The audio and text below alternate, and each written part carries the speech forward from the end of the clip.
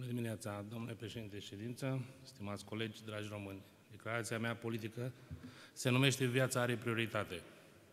România este țara cu cele mai multe accidente grave pe cap de locuitori din Uniunea Europeană. Numărul accidentelor rutiere fatale în România în anul 2019 a ajuns la 96 de cazuri raportate la un milion de locuitori, ceea ce reprezintă aproape dublu mediei europene și situează România pe primul loc în Europa. Printre cauzele accidentelor rutiere se numără și depășirea vitezii regulamentare, lipsa centurii de siguranță, neacordarea priorității la trecerea de pietoni. De ani de zile asistăm la nenumărate accidente cu victime care ar fi putut fi prevenite.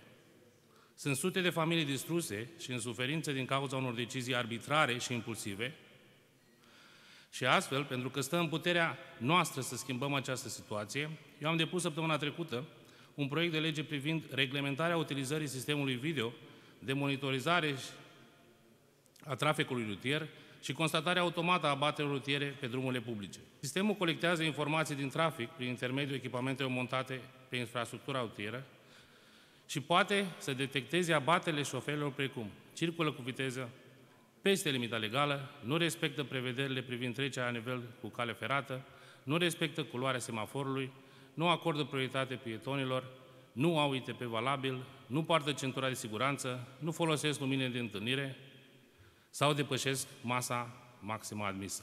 Șoferii care nu vor respecta regulile vor fi înștiințați direct cu privire la eventuale încălcări ale legii și li se va transmite amenda direct la domiciliu.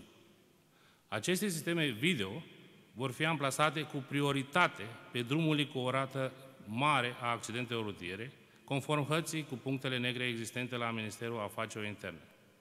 Indicatoarele de avertizare a prezenței dispozitivului de detecție se instalează înaintea locului dispune dispozitivului de detecție, la o distanță de maxim 50 de metri în localități, între 100 și 200 de metri în afara localităților, respectiv între 500 și 1000 de metri pe autostrăzi și drumuri expres. Datorită unui astfel de sistem care există în statele europene, numărul accidente rutiere și rata mortalității în urma acestora au scăzut considerabil. Implementarea lui s-a dovedit a fi benefică atât din punct de vedere al siguranței circulației, cât și al protejării mediului înconjurător. Am lucrat la acest proiect legislativ pentru că sunt conștient de câte vieți ar putea salva acest sistem odată ce va deveni funcțional. Și aș accentua mai mult caracterul de prevenție al acestui proiect legislativ și aș sublinia importanța adoptării măsurilor care converg pentru mai bună siguranță rutieră. Acest proiect legislativ înseamnă prevenție, informare, siguranță și respectarea regulilor de circulație. Vă mulțumesc, deputatul SR Plus Bacău, Cristian Paulichim.